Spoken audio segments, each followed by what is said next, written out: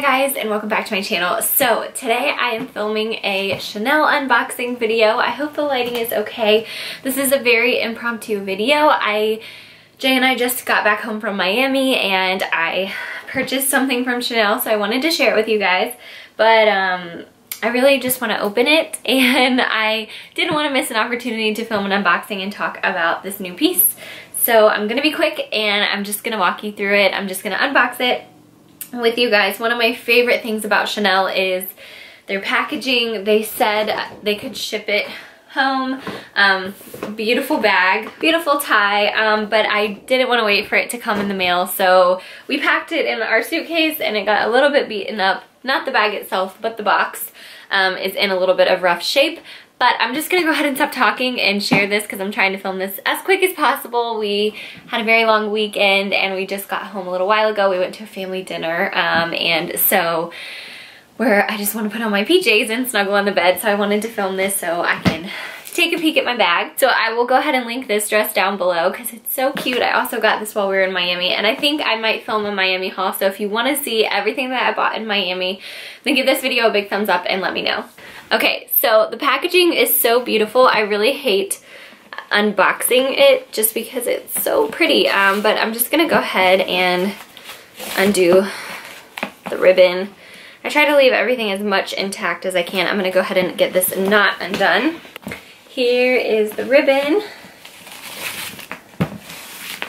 I'm just undoing it. I always like to try to keep everything as intact as possible.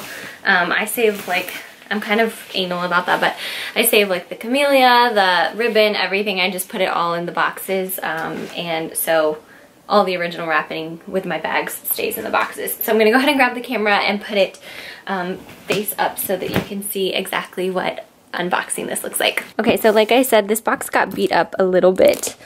Um, but one of my favorite things about Chanel is the packaging.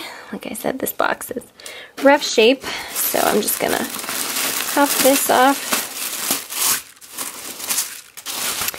Open it up.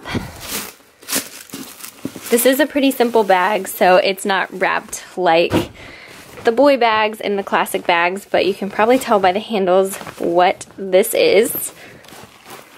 See if I can get it out. Okay, so here is the bag. This one was, whoops, came straight from the back. I'm gonna go ahead and put the camera back on the tripod so I can show you better. Okay, so this is the wonkiest unboxing video, but this is the bag. This is the pink large shopping bag, and this is from the spring summer 2019 collection. This has silver hardware. Um, it's very pretty. I saw this online and I really loved it. I've always wanted a bigger tote bag um, for summer and this is like the perfect beach bag. It's so beautiful. Um, it has a massive interior and it has two zip pouches on either side if I can get them open. So, oops, that one was open. So you have two really, really large pouches on either side your little clip um, and it also comes as like a top handle as well as you can carry it oops, on your shoulders.